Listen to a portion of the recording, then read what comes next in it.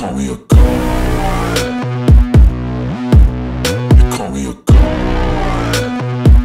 நமது அண்டை நாடான பாகிஸ்தானில் பொது தேர்தல் நடக்கு. இந்த பொது தேர்தலில் இம்ரான் கான் அப்படிங்கிற நபர் அவர் சார்ந்திருக்கக்கூடிய சுயேட்சை வேட்பாளர்கள் பெரும்பான்மையான இடங்களில் வெற்றிகளை குவிச்சு வர்றாங்க அப்படிங்கிற தகவல். அது ரிலேட்டடான ஃபுல் ரிப்போர்ட்டு தான் இந்த வீடியோ.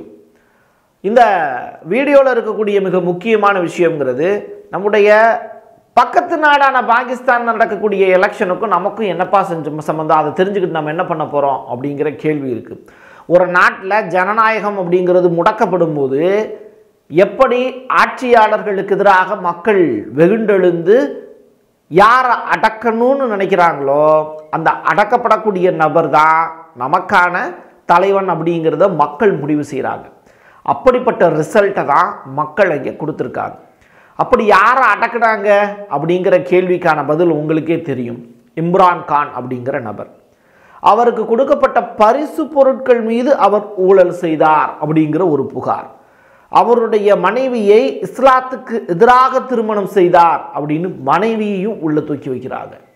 இப்படி இம்ரான் கானுக்கு பதினான்கு ப்ளஸ் தனியாக ஒரு ஏழு ஆண்டுகள் அப்படின்னு அவருக்கு தொடர்ந்து அவரை சிறையிலேயே வைக்கிறதுக்கான வேலையை பூரா செஞ்சாங்க.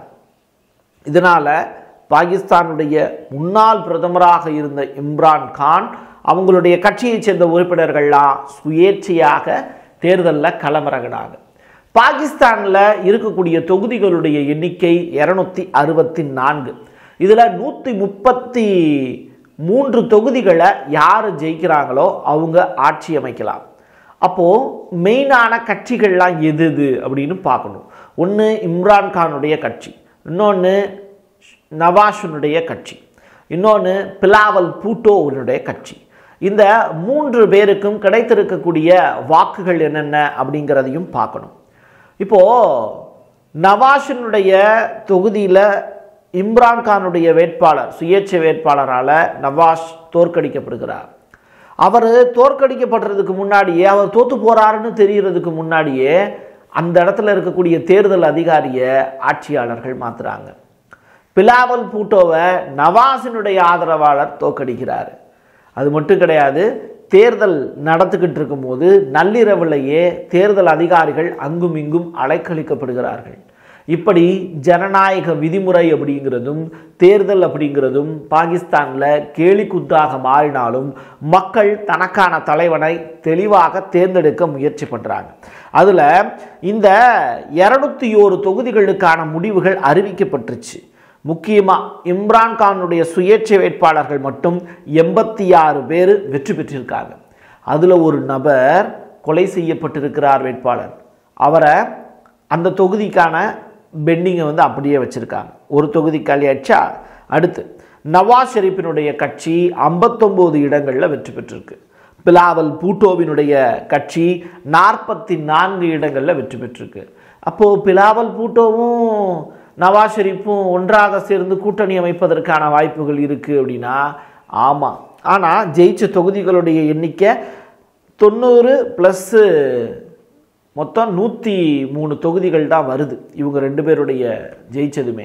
ஆனால் இம்ரான் கானுடைய கட்சி எடுத்த எடுப்புலேயே இவங்க டாப் இயர் போட்டு எண்பத்தாறு பேர் வந்து ஜெயிச்சு முடிச்சிருக்காங்க.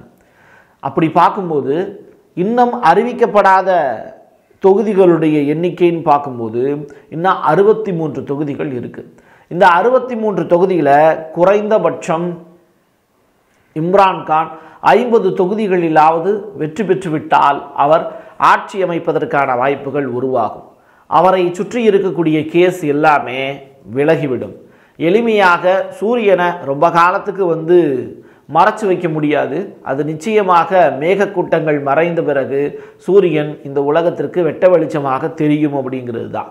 ஸோ நான்கு மாகாணத்திற்காக கொடுக்கப்பட்டிருக்கக்கூடிய தேர்தல் ரிசல்ட்டில் கூட ரொம்ப பெரிய அளவிலான மாற்றங்கள் அப்படிங்கிறது இல்லை. இம்ரான்கானுக்கு தான் பெரிய அளவில் வேட்பாளர்கள் ஆதரவு மக்கள் ஆதரவு தெரிவிச்சிருக்காங்க. நவாஷினுடைய குடும்பம் வந்து ஓரளவு வெற்றி பெற்றிருக்கு அப்படின்னு சொல்கிறாங்க சுயேட்சைகள் அதிகமான அளவில் வெற்றி பெற்று மக்கள் வந்து தனக்கான தலைவர்களை தேர்ந்தெடுத்திருக்காங்க. ஸோ நவாஸும் சரி பிலாவல் பூட்டவும் சரி பிரதமர் வேட்பாளராக அவங்க அறிமுகப்படுத்தப்பட்டாலும் எலெக்ஷனில் மக்கள் அவங்க தோக்கடிச்சிருக்காங்க அப்போது இம்ரான்கானுடைய வேட்பாளர்கள் அதிக அளவில் ஜெயிச்சிருக்காங்கங்கும் போது இந்த எலெக்ஷனுடைய ரிசல்ட் அப்படிங்கிறது இம்ரான்கான் பாகிஸ்தானில் அடுத்த பிரதமராக வருவதற்கான வாய்ப்புகள் பிரகாசமாக இருக்கிறது அப்படிங்கிற அந்த தகவலும் மக்களை வரை பிரதமராக அங்கீகரிச்சிருக்காங்க அப்படிங்கிற தகவலையும் தான் நம்ம சொல்ல வேண்டிய தேவை இருக்குது முடிவுகள் எப்படியானாலும் சரி நம்ம ஜனநாயக பார்வையில் இம்ரான் கான் ஜெயிச்சிட்டார். அவ்வளோதான் இதில் விஷயம். Call me a.